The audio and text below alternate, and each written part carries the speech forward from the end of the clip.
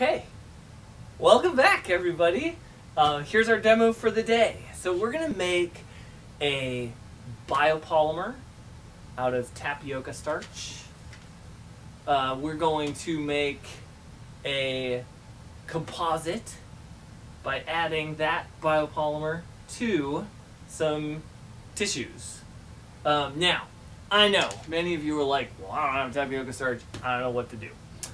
You can use any starch, cornstarch, ooh, very fluffy, cornstarch, potato starch. Um, those are probably the, the most likely ones you would be to have. Cornstarch is pretty common. People use it for making, uh, for adding to like uh, breading on things or for thickening sauces. Um, cornstarch is very easily available and it will work totally fine as a perfect replacement for tapioca starch. I just happen to have this. Um, so it doesn't, literally doesn't matter. Um, you could use flour also, but that will not behave quite the same way because it has protein in it. Also, it has gluten um, in the in the starch or in mixed in with the starch. So there's wheat starch and wheat gluten, and the gluten is a protein which won't interact with the water and vinegar in the same way that uh, as what we're going to do here. You'll also need some white vinegar. Apple cider vinegar will work also. Um, balsamic vinegar probably would work, but it will make the whole thing smell weird and be sugary and like there's a bunch of other stuff in there. Uh, apple cider vinegar or white vinegar are about as close. Rice vinegar would also work if you have rice vinegar, but just something that is an acid. So this is acetic acid. Um, we need to be able to acidulate this starch, so that's going to help it to um, to to to hydrolyze and break down a little bit in the way that we need it to. Um, so what we're going to be doing with this acid is we're going to be slightly attacking the starch, and we'll talk about that in a second. Um, you're going to need some water. I just have this in a jar for you all. And then I'm going to add a little oil. Um, you can also add glycerol or glycerin. Um, glycerin is a polyol that is a, um, it's basically a bunch of OH, uh, OHs that bond to waters. So it's a humectant. It, it like hydrates things. Um, if you had like a bunch of aloe vera laying around, or if you had another plant gum, you could try putting lotion in this. That might work actually, and it might be worth um, trying. But if you had some some cheapo lotion, you might try adding a little, just a little bit of that. And the reason for that, we'll explain it in a second. But basically, I don't know if you can see this. I'm just going to put it up on the the video. Um, so here's cassava. That's the plant that this tapioca starch comes from. If you got potatoes, it comes from the potatoes. But basically, starches are these long chain molecules that plants use to store energy in their uh, for for next season, right? And so they can put molecules together, and then they can break those molecules into sugar and metabolize the sugar uh, later on. And the starch is pretty because it's a long chain. It's harder for bacteria to digest most bacteria aren't able to just directly digest starch, and so it doesn't uh, it doesn't get stolen from them by soil bacteria, right? So starch is a trick that the plants use to store energy in a way that other animals can't access, and interestingly, um, uh, more complex animals like mammals, um, you know, multicell animals often are able to eat starch, and the way that we do that is we attack the starch with acid in our stomachs. Um, it's harder to break down with uh, with with um, with enzymes, but you can attack it with with acids, and then that will like degrade these side chains, and you end up releasing sugars, and then the whole thing can can be more easily um, metabolized by you. So we're going to use this acid to slightly break down that starch. We're also going to um, reinforce. So this is going to be a pretty brittle material when it's dry. We're going to reinforce it with some, um, I'm just using literally like Kleenex. You could use toilet paper. If you had some um, rice paper or, and by rice paper, it's often called rice paper, it's not actually made with rice. It's, um, it's like koji, koji paper is, uh, koji? Kojo, ko, I can't remember. I have to look it up. but it's a it's a mulberry fiber paper. So it's it is um, the thin fine paper that is often used for shoji screens.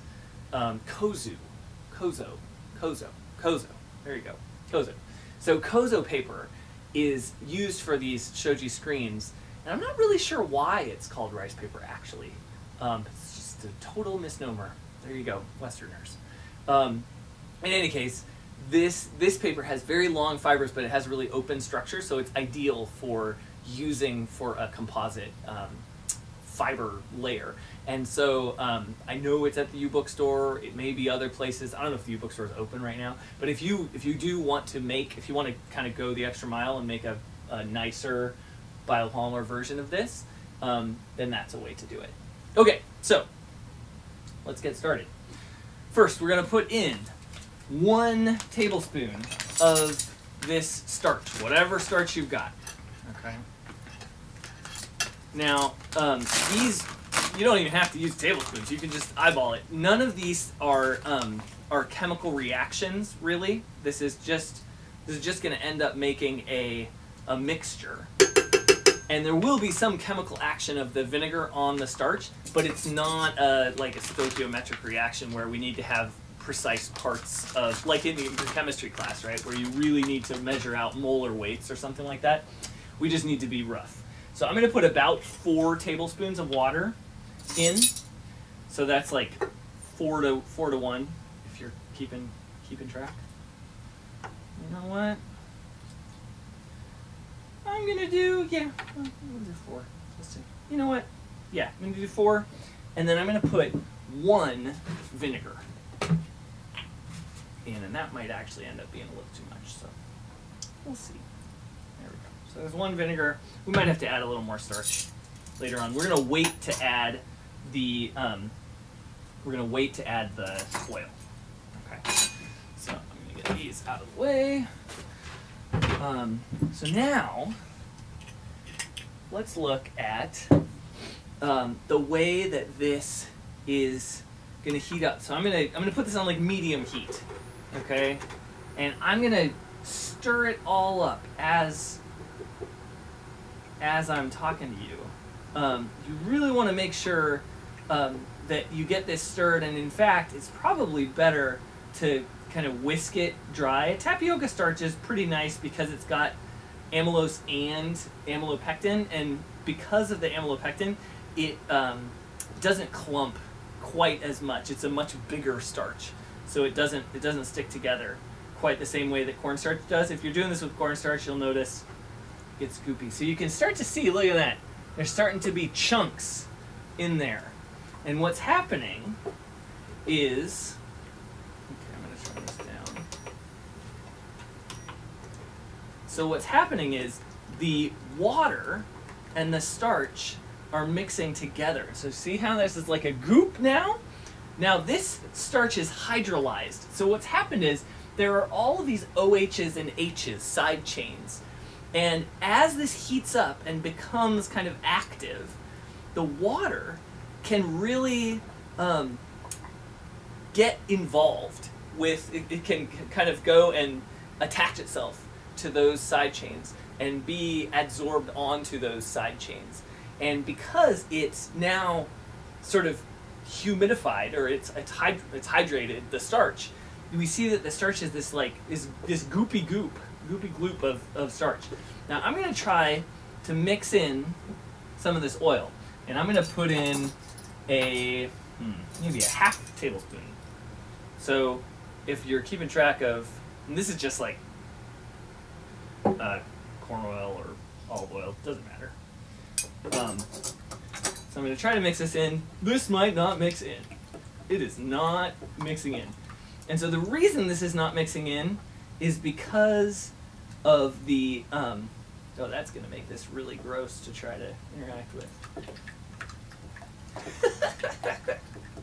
um, the reason it's not mixing in is because there's so much water in this thing. This is why using lotion or something else would be a much better, a preferred method. Um, I'm gonna try. I'm gonna try to spread this out. Why not? So I'm gonna move the cooktop here for a second. Oh boy! And now I've got my starch. I've got a um, silicone pat. You could use. Uh. Um, you could use a. I'm just gonna put a piece of cardboard so that it um, can be stiff. Um, so you could use regular uh, tinfoil. You could use wax paper.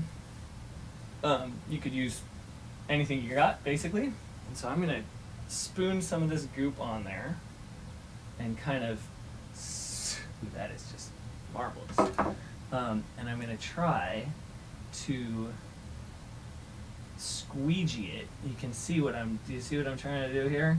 I'm trying to squeegee it across the tissue without totally breaking the tissue. And I'm actually gonna put it on the back side and then I'll put some on both sides. So kind of squeegee it through the tissue. Does that make sense to people? Take a look. So here's the here's the thing being squeegeed.